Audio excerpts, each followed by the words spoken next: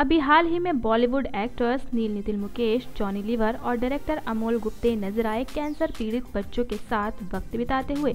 यहाँ legendary comedian Johnny liver ने बच्चों के साथ जमकर भांगड़ा किया और ढेर सारी मस्ती भी की। जॉनी लीवर ने मीडिया से बात करते वक्त कहा कि उन्हें इन बच्चों से काफ़ी इंस्पिरेशन मिलती है।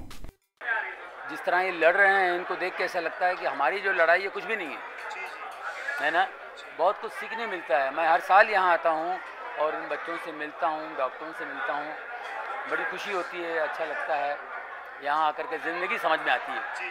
प्रेम रतन धन पायो में अपना जलवा बिखेर चुके नील नितिन मुकेश। आजकल अपनी आने वाली फ़िल्म वज़ीर में बिज़ी हैं, जिसके बिज़ी शेड्यूल से टाइम निकाल कर नील पहुँचे इस इवेंट में।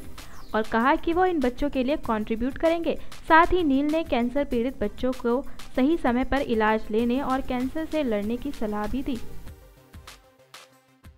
कहना चाहता हूँ कि बीमारियाँ एक ऐसी चीज़ हैं जो आज यू नो हमारे डॉक्टर्स जो हैं हर चीज़ के लिए एक इलाज ज़रूर निकाल रहे हैं। तो आ, मैं चाहूँगा कि आप सभी आ, अगर कैंसर शब्द से डरते हैं तो इस शब्द से अभी ना डरें बल्कि यू नो हौसला बढ़ाएँ और आगे आएँ लोगों तक पहुँचें।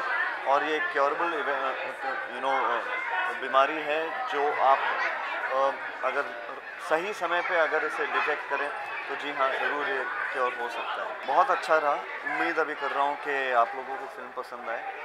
और 8 जनवरी को फ़िल्म रिलीज़ हो रही है। तो मेहनत जारी है।